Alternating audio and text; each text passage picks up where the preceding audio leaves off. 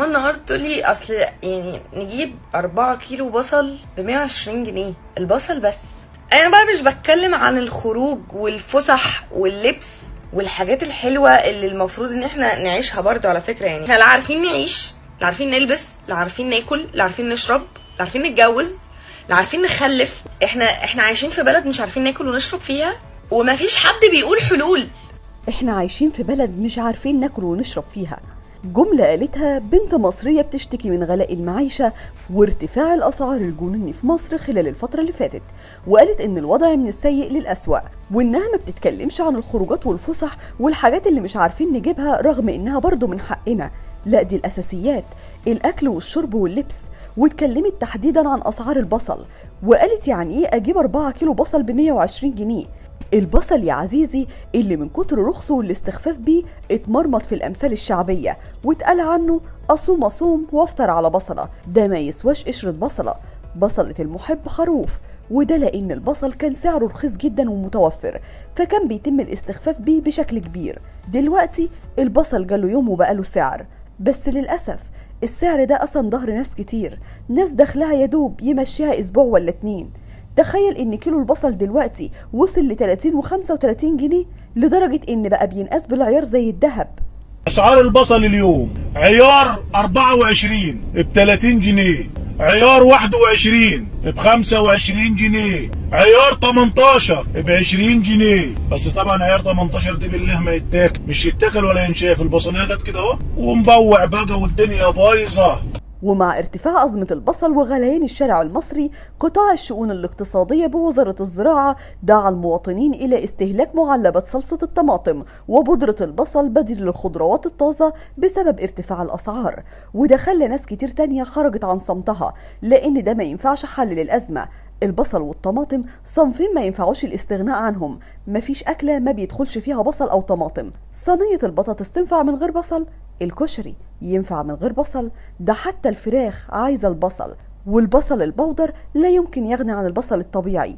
عنها يا سيدي ونزل التعليقات والكوميكس زي الرز.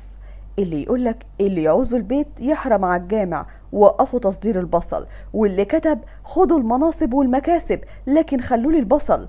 واللي كتب تخيل البصل ده أول مرة ينزل على الأرض نزل في مصر.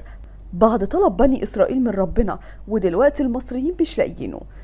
واللي هزر وقال كل ما تحس إنك ما خدتش فرصتك في الحياة افتكر إن البصل جاله يوم وبقاله سعر. واللي كتب انخفاض سعر البطاطس وارتفاع سعر البصل والطماطم. وبعدين بقى في صينية البطاطس اللي مش عايزة تكمل دي. واللي كتبت اللي يقولك صباح الورد ما تردش عليه. صباح البصل مفيش أحلى منه. الغريب في القصة بجد إن مصر بلد بتزرع البصل وعندها فائض منها.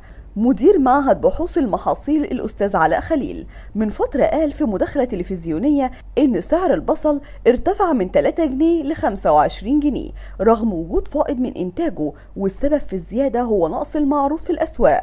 وده خلى الحكومة تطلع بقرار مهم لحل الأزمة وهو وقف تصدير البصل.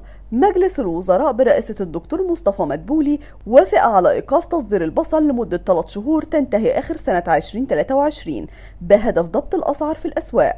بعد ارتفاع أسعاره بطريقة جنونية بنسبة بلغت 434% خلال شهر أغسطس الماضي حسب الجهاز المركزي للتعبئة والإحصاء القرار ده خلى الناس تطالب بوقف تصدير الطماطم وكل المنتجات اللي بتدخل فيها زي الكاتشب والصلصة المجففة لوقف الارتفاع الجنوني للطماطم هي كمان بعد ما سعرها وصل ل 25 جنيه للكيلو. وده يخلينا نعرف إن مش البصل بس اللي محتاج ضبط أسعار. معظم السلع محتاجة تدخل الحكومة. التجار عندهم جشع ومفيش رقابة لأن النهاردة وبعد يومين من القرار لسه أسعار البصل بتتراوح ما بين 20 و 25 جنيه وما حصلش تغيير كبير في الأسعار. والسبب إن القرار ما اتطبقش أصلا ومصلحة الجمارك خرجت ببيان أعلنت فيه تأجيل العمل بقرار وقف تصدير البصل السؤال هنا يا ترى هنشوف البصل أبو 3 جنيه مرة تانية ولا قرار الجمارك اللي صدر النهاردة هيخلينا ندور في نفس الساقية ويبقى الوضع على ما هو عليه؟ اللي معاه يشتري واللي معهوش ما يلزموش. شاركونا برأيكم في التعليقات.